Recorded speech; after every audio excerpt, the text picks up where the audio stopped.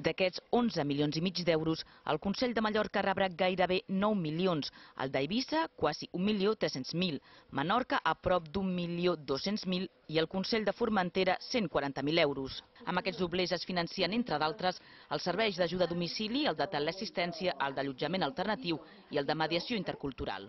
Mitjançant aquest eh, pla, la Conselleria de Serveis Socials destinarà 11 milions i mig d'euros per eh, garantir el manteniment i el funcionament de la xarxa de, de serveis socials municipals que són normalment la primera porta d'entrada dels ciutadans en els, en els serveis socials.